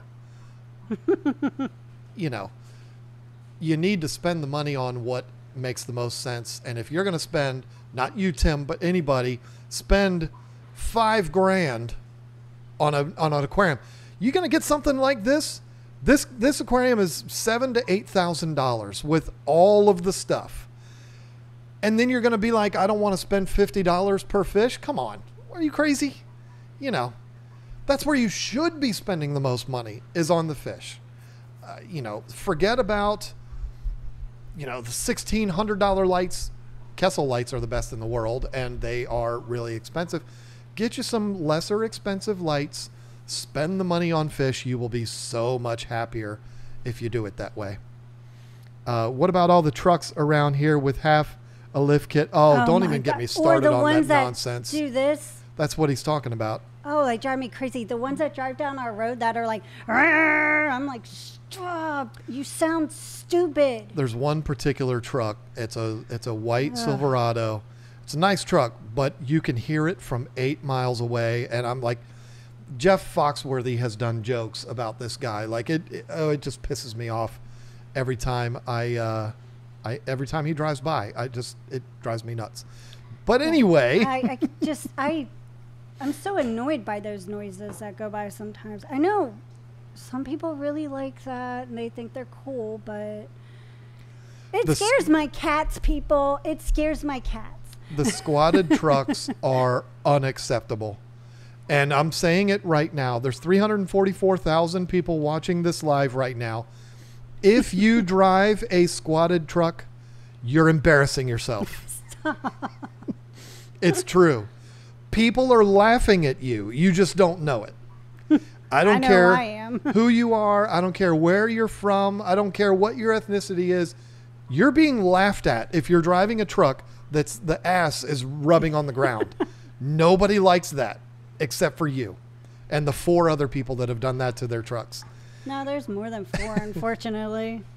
When we when we bought this house and I was driving back and forth every weekend from Virginia, there was a a Silverado 3G said they're overcompensating for something. yeah. There was a, a- it was either a Silverado or a Suburban. No, it was a Silverado. Um, yeah, why did I say Suburban? Silverado that was for sale that was ah, squatted. right On the side of the road. and it was right before you got to the North Carolina line. Yes. it was in Virginia, but it was like a half a mile from the North Carolina line. And it was sitting there for months, and I was like, had to "Don't get- nobody want that cartoon-looking stupid thing, it probably got towed to the dump. busted suspension, and come on, what do you you want me to buy that and make myself look like an idiot? No." Imposter B said, Love you guys. I learned so much from your videos. Thank you for all you do. Much love to you guys. Well, thank you. Thank you. I'm glad we could help. That's very, very cool of you to, to send along a super chat. Melinda Miller also became a member. This, with all the gifted members tonight and all of that, this has to be a new record. Yeah, that is so cool. It has to be a new record. Thank you to all uh, new members who have signed on tonight and those who were gifted memberships. Thank you to the gift givers and the recipients. Make sure you check out the bonus videos uh, every single Sunday the way I've been doing it. And uh, sometimes I forget, and I'm sorry, but I like to put those in the end screen so that if you're watching the public video, I put them in the end screen of the public video. So you watch the main video on the main channel. They're both on the same channel, but you know what I mean. and you get to the end of that one, the, it'll be right there for you. If you're a channel member, you click on that and you go right to the bonus footage for that video. It's great. It's a, I'm such a genius for that. Uh, make it as easy as possible. But if you don't want to do that, just go to the channel, go to the member section, and you'll see all of those. All of the people that are on here tonight that got those gifted memberships, check out those videos. If you like our list videos, you'll really like those because it's it's just more of it, and uh, we get a lot of really good feedback. Not a ton of people are watching them, which you know, that's fine. You, you're you're a channel member. It's up to you whether you watch them or not. But uh, those that do seem to be sending off uh, very positive feedback on those. We do them a little bit differently. We uh, we we don't do them scripted. We just talk with you like you're our friends, Yeah. and it's a lot of fun. And I run Yeah. my mouth a lot, just like I'm doing right now. He does. Pistachio said, Hey, John, I got a new Breaking Benjamin tattoo. Wow. I have a, a routine that I do when I write the scripts for our videos. I, I don't know why, but I go, I, I open up my Apple Music and I listen to the Breaking Benjamin Essentials. And I've listened to it so many times that I can practically tell you the order in which the songs play. However, I'm not threatening you with this knife. I'm just sitting here playing with it. I'm going to say something that some people are probably going to either love, others might make fun of me for it. And if you want to make fun of me for it, I don't really care. Uh, Oh. My taste in music is very eclectic. I listen to a lot. Some of it gives me a headache. Well, in this band that I'm about to talk about, uh, gives her a headache. Um, I am on a I prevail kick. I I've always liked them. I've always thought they were good, but for some reason they just they just hit me. And I'll tell you why it was. Uh, Their drummer, their new drummer, is a YouTuber. And for some reason, I fall down rabbit holes sometimes watching drummer YouTube videos. And I love watching the videos where you have the drummers and they do like a, a whole daily vlog when they're on tour. I don't know why, but I can watch that stuff for hours. And the drummer for I Prevail is is one of those guys, and he's a very successful YouTuber. I think he's he's about to hit a million subscribers. And and I was just watching a bunch of his videos, and I was like, oh my god, he's he's the drummer for I Prevail. I love those guys, and so I've been on a huge kick with them ever since. And uh, they're one of the. I, I'm going to say it. I'm going to say it to your face, and I'm going to say it to everybody else, even though you're not a fan. Their version of Blank Space is better than Taylor Swift. I just I said it. No, I did hear that one, and I remember saying, "You're right, it is." It's way better than Taylor Swift's version. But anyway, Henry Rothschild, Rothschild, thank you. Twenty dollar uh, super chat. Good grief, thank you for that. Coming in last minute, appreciate it very very much. Matt said, "I always thought of John as a Swifty. Guess I can be surprised." I mean, you know, they do a uh, Who a was Taylor it Swift that song. Bob messaged you about coming to con- Creed. Yeah. Yeah, I got a message from Steenfot uh, asking if I have ever seen Creed, but I was like, no, but I'd love to.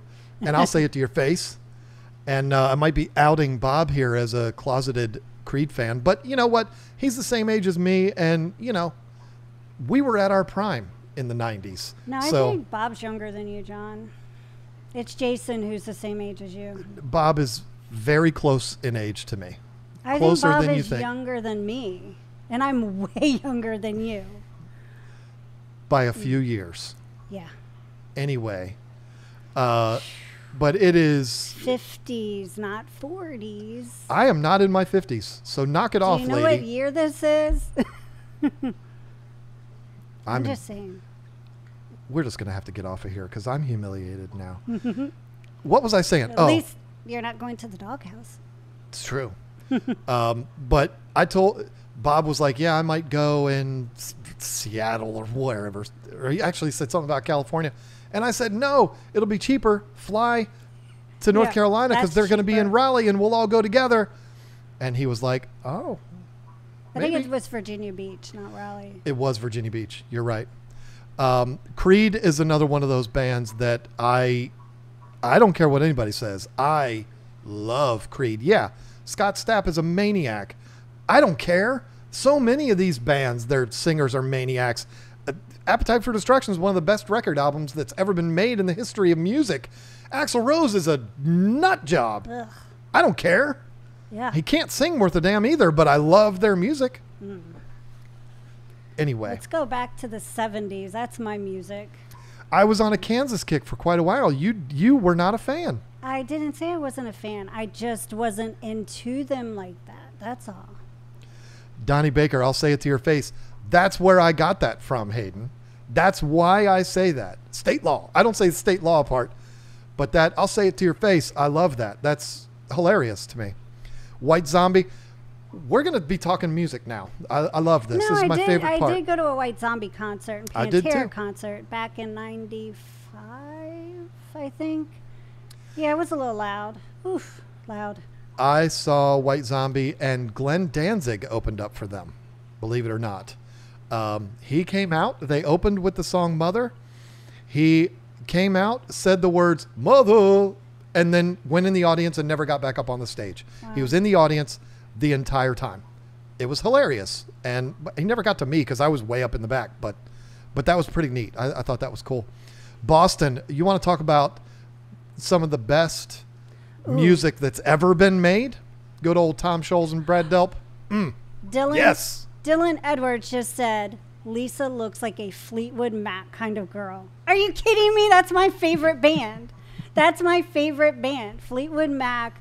Oh my gosh, is my favorite. Tell them what I did for you last year. Even had I had No, to no, step through the vomit and all that. Just tell them. Oh, well, yeah. Oh, he got me Stevie Nicks tickets, and we went there in Raleigh, and that was so much fun. I had a great time because I love Stevie Nicks. But when let's see, I went to Fleetwood Mac. Um, was it 2019? Because it was right before. It was in Again, I bought those tickets for her it for her was birthday, in 2019 because Braden was only like a month old, and, and it was before McVie died too, wasn't it? oh heck yeah, she died last year. Yeah. Duh. So it was so cool to see them all in concert before she passed away. And if you're friends with Discus Hans on Facebook, he has his avatar for Facebook is, I think it's like this or whatever, but it's Mac, it's Mick Fleetwood, and um, I took the picture in concert and I sent it to to Hans, and I was like, "This looks like you. It's crazy." So he uses it as his avatar on Facebook now. But, anyways, uh, yeah, I love Fleetwood Mac. I like Steve Miller Band. I love Creedence Clearwater. I like the Eagles. I like, um, oh my gosh, all of them. Jackson Browne. I just really like the 70s. I feel like I should have been born You were. early 60s Oh. and have Whoa, been no. a teenager in the 70s. I wish I could have been a teenager in the 70s. Some of the best music that's ever been made, and Heck and yeah. for me, so Tom many Petty. people. I love Tom Petty. so many people go to the Rolling Stones, ACDC, Led Zeppelin. I'm just going to be brutally honest with all of you here. There's 78,000 people still watching. I'm not a fan of any of those three bands. I'm sorry. I, I mean, I'm not saying that they're bad. I'm just saying I don't understand what all the fuss is about. I don't understand what the Jimi Hendrix fuss is all about. I've got a bobblehead of Jimi Hendrix. I, I'm a fan, but I don't understand why so many people go absolutely nuts for him or for Led Zeppelin or dare I say even the Beatles. I mean, yeah, they've got some great songs, but people talk about the Beatles like they're the what? I, I but then again, Elvis, I, I'm a humongous fan of. I, I like a lot of weird stuff. I mean, Elvis isn't weird, but uh, I don't like Led Zeppelin, but I love Elvis. Somebody said, uh, oh, it was Tim Russell. Uh, where did we go here? I lost it. I hate YouTube's system. It's so bad. Take it back. We don't need to get, um, we don't want to get banned. They know their system's bad. Oh, Jimi Hendrix is definitely overrated. Jimi Hendrix was a great musician, but I don't know why everybody talks about him like he's the best that's ever been. Uh, Tim Russell said something about Morgan Wallen, um, Luke Combs, and uh, some others. Luke Combs is the best one doing it right now. I don't care what anybody says as far as country music goes. Uh, Morgan Wallen, I'm a fan of, and he, he said Waylon Jennings, sure. Um, but uh, but yeah, Luke, Luke Combs is there's nobody doing it better than him right now as far as current day country music. Yeah, he's he's the best at it. Uh, Disturbed is coming here with Breaking Benjamin. See those videos that I was watching that got me on the I Prevail kick. The first one, what I was watching, uh, it was vlogs that were done by the drum tech for the drummer of Disturb. No, no, no. Hold on now. It was totally a clickbait thing. the the guy said the the title was uh, drum tech for the Disturbed tour. But what he didn't say was that he was the drum tech for the opening band for Disturbed. Uh, but that's what got me watching, and I was fascinated. His videos are great, um, but he made it seem like he was the drum tech for Disturbed, and he's not. Um, in the titles, he made it seem like that. That's what got me to the drummer that is the drummer for I Prevail, and then I went on this long I Prevail kick, Oh. and uh, that's yeah. She's not a fan. When I play I Prevail when we're playing darts, she likes Brian. She doesn't like Eric. If you know I Prevail, you've got the clean singer and the dirty singer. Uh, he's, I guess, I think that's what they call themselves. There's the screamer and then the singer. She doesn't like the screamer, but I do. I think he's really, really good. I think he's got a really good screaming voice. Mr. Skippity Doodah said, Did Lisa have 90s hair, Aquanet, rattled bangs? John had frosted Z Cavaricci jeans. I know it. Okay, I was kidding. Please don't ban me. I, yeah, I had Aquanet hair. I had big bangs. And my hair was teased, and I used. Uh, let me see, what was that stuff? Sun in on my hair to make it. I tried to make it blonde, but it was always orange. Oh, God, the the things I did to my hair in like the 90s was or 80s, late 80s, early 90s was insane. I'm so glad that all changed because that was the ugliest stuff in the world. That's why I wish I was a teenager in the 70s with just the long straight hair parted down the middle. It was just so much better. I don't know what happened to people in the 80s. Like, and then there was the uh, leg warmers and the uh, what do you call that? Parachute pants Oh yeah, and the uh, the jean jackets, no the other the Michael oh, Jackson oh, jackets. When you roll your you roll up your pants at the bottom, you had to tuck it this way and roll it up, and then you had to have two different color socks on, and like, oh, it was so stupid. this is what I love here because look look at the diversity of music here. We've got Linkin Park from Latardo, Latardo. I'm a huge Linkin Park fan. Then we go to Iron Maiden. If you're not an Iron Maiden fan, you can go F yourself. Uh, then we get down to Joe Walsh, huge Joe Walsh fan, huge Eagles fan. So, of course, I love Joe Walsh. REO Speedwagon, Blink 182, Nine Inch Nails. I mean, come on. Blink 182, forget about it. I'm a huge fan. I'm a fan of all of these. Fleetwood Mac, Steve Miller, Boston, Deep Purple, Dio. Who doesn't love Ronnie James Dio? Come on. All five foot six of him. That's that's a man right there. Uh, Blink 182 is trash. How dare you, Pistachio? How dare you? How dare you? I like Blink 182, and I'll say it to your face. Tom Petty and the Heartbreakers. Yes. Yes. Love Tom Petty so much. He helped me through a lot of anxiety trips because I hate driving long distances. So I'll just stick Tom Petty on and just everything's good. Henry Rothschild said, I was at Woodstock. Which one? Probably the Because first one. there's really only one real Woodstock. The one in the 90s. I love watching video footage on YouTube of that show, particularly Korn's performance there and Kid Rock. I love it. I love that. Even Green Day there. Uh, I think I think that was the third Woodstock where Green Day performed and everybody threw all the mud on the stage. That was hilarious. Oh. Uh, I love Green Day before they lost their minds. I mean, yeah, I don't like Green Day. love Zeppelin, love Led Zeppelin.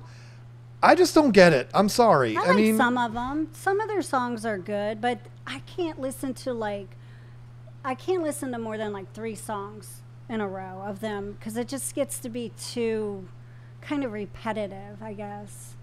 I I I'm not saying Led Zeppelin is bad. I've been to the when Robert Plant and Jimmy Page toured just the two of them and they went and did all of the Led Zeppelin songs. My buddy called me one day.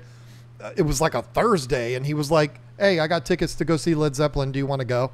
And you're not going to say no. Of course you're going to go. So I went and it was a great concert, but I'm just not like everybody talks about them like they're the best thing ever. I mean, yeah, I love Kashmir, I, I, but I, I just, I don't know. I, they're not the best thing in the world. But I say the same thing about the Beatles. But Ted Riggs comes in with Def Leppard. Forget about it. Uh, That's one of you- my what did- absolute What did you get for Christmas? She got me. This was a total, total shock. the entire set of Def Leppard Funko Pops. It's and amazing. the one was even missing his arm. It was so cute. and the only thing disappointing about it, it's a it's a beautiful thing. It's modern day Def Leppard. So Vivian Clark is with him. He's great. I've seen them in concert twice with him. I wish there was also a Stephen Clark one. He has passed. He's no longer with us. He died 25 years ago, if not more than that.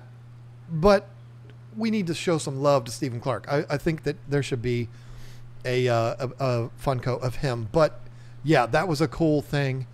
I love that Funko, and I love that he's only got one arm. It's it's adorable. But I mean, it's sad that he only really has one arm, but it's cute that the Funko Pop was done that way. So But yeah. Papa Roach, Cheap Trick, Royal Blood, Cleo. No, Cleopatra. Eyes not doing so good tonight. Uh, not familiar with Royal Blood or Cleopatra, but I love Papa Roach. Insane Uh, clown posse. The Doors. yes, I like the Doors. I like them, but again, like people are like, Jim Morrison was a genius, and I, listen, I think people say Jim Morrison is a genius for the same reason they say Janis Joplin is a genius, and Jimi Hendrix and Kurt Cobain, because they're dead, and because they died at 27 years old. These were very talented musicians. Jimi Hendrix would be the best out of that bunch, but to saint Kurt Cobain the way people have, and uh, like the day he died, people were like, "Oh my God, we lost a saint! Come on, get out of here." He was a miserable human being that wrote miserable songs, but they sold a lot of records and produced one of the best musicians on earth right now, Dave Grohl. Other than that, I did not like Kurt Cobain at all. No disrespect. I mean, he did Well, I pass, and he's got a family, and that's sad. But uh, But if you didn't like them before they died, you shouldn't all of a sudden love them after they died. You know? Well, and they were extremely popular when he died. They were at their prime when he died, but they got more popular after he died. It's just a fact. It just is what it is, and that sucks. Everybody I just mentioned, the whole 27 Club, got more famous after they died.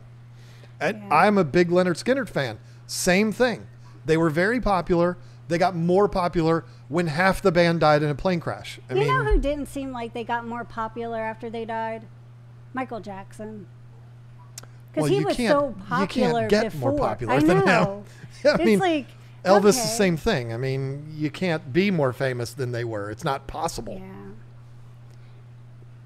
Dire Straits, love them. Smashing Pumpkins, love Smashing Pumpkins. Even though we're talking about one of the most unique voices to ever do it, I- still absolutely love. Uh, I love his voice. And I, I would love to sit down and have a conversation with Billy Corgan. I- It just seems like an absolutely fascinating human being. I want to go to a Joan Jett concert. I They were with- Joan Jett. sh- they she was with Def Leppard Mhm. and Motley Crue at Nats Park when we lived in Virginia. I remember hearing about that. I would have loved to have gone to see her. That's that's the funny thing about it. You would be uh, you'd be going to that just to see Joan Jett when you've got two. She's an icon too, but two of the biggest to ever do it. I've seen Def Leppard like six times. I would have gone for Def Leppard too. Are you kidding me? I psh, Def Leppard's really I love good Def live. Leppard. Joe Elliott doesn't have the voice that he had in 1984, but uh, what's the 27 Club? There is a there is a, a, a just type it in on Google. There's a whole list of musicians: um, Kurt Cobain, Jim Morrison, Jimi Hendrix, Janis Joplin. I think um, what's her name? The rehab girl. Why am I drawing a blank? Oh, Alice. Amy Winehouse. oh, Amy Winehouse. Yeah. Uh, there's a whole bunch of people. I think Shannon Hoon. Like, there's a whole bunch of musicians that died at 27 years old, and uh, and they call them the 27 Club, and every single one of them got more popular when they died, and it's it's unfortunate. I mean, they they were very talented, but uh, Steely Dan. That's funny. John is underrating Janis, but Kurt Cobain isn't the same category as Joplin.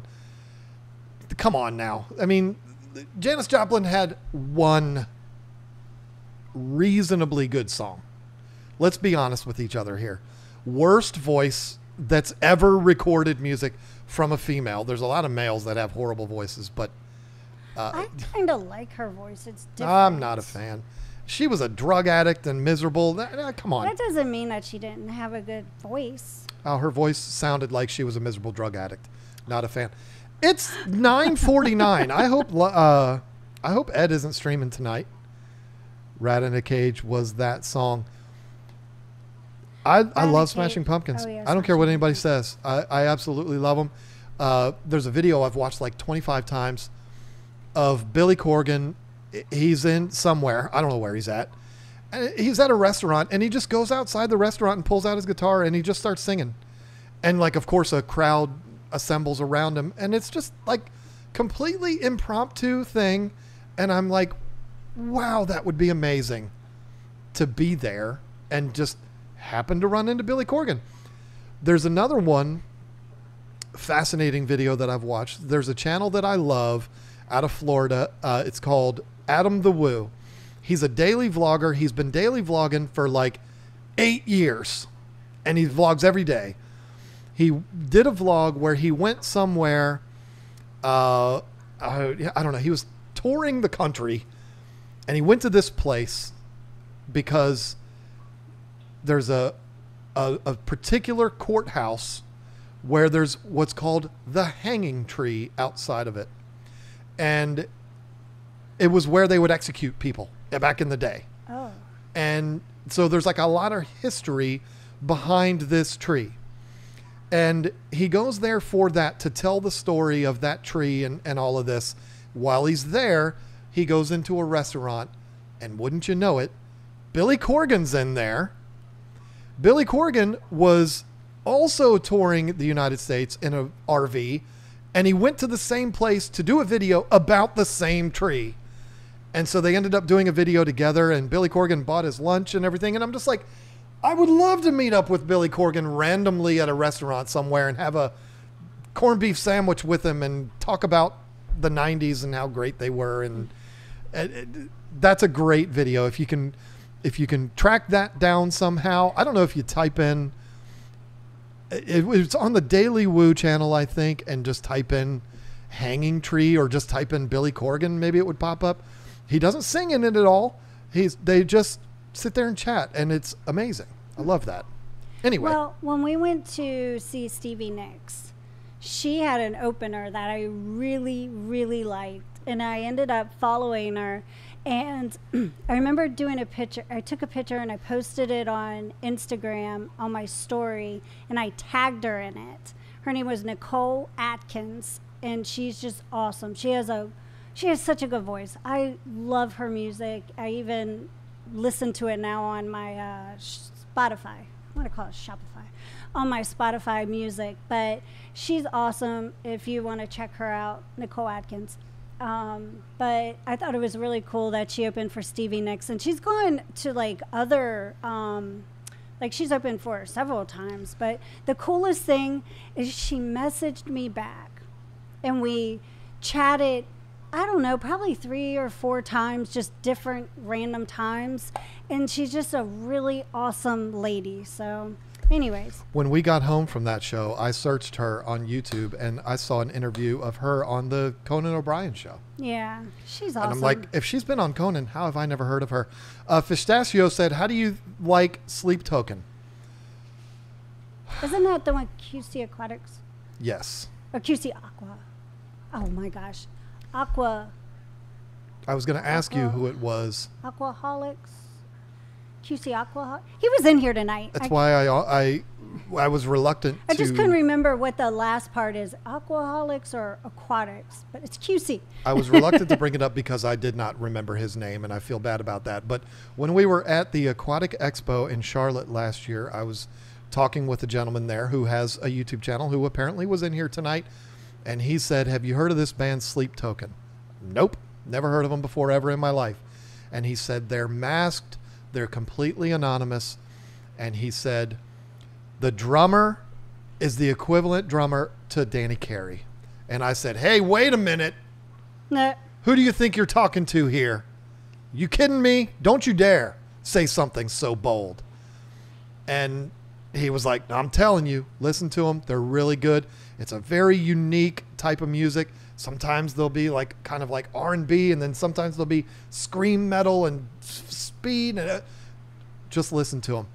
We listened to them on the way home yes, we did. the very first song I listened to was The Summoning, which is their most popular song by a mile, and I was instantaneously hooked on that band. I love them. I love Sleep Token so much.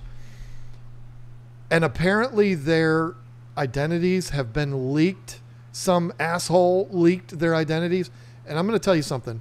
Whoever you are that did that, you are a scumbag. And I hope they sue you because why not let these guys do their gimmick, let them do their thing, and be anonymous and be able to live normal lives? How dare you take that away from them? But I love Sleep Token so much. They are, they've gotten me through a lot of three and a half mile walks that I've done around my neighborhood. They're amazing. That's how I feel about Sleep Token. Well, from what I understand, uh, Ed is streaming tonight. So we should get off because that's rude. Yeah, that is very rude of us, and I apologize uh, for stepping on Ed's toes like that. But you know what? I wish I could do a live stream that's just music talk. I would love that oh gosh, so much. Not another podcast. No, I will not be doing Ah. that.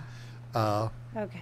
but anyway, so that I stop talking, uh, I will hand it off to Lisa so that she can say goodbye to everybody.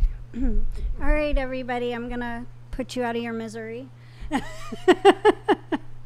and if Zen, if you wouldn't mind sharing uh, Ed stream, that would be amazing. So if you guys want to go like check out fish stuff and not hear music stuff, uh, Ed is streaming, and you can get a little bit more fish talk.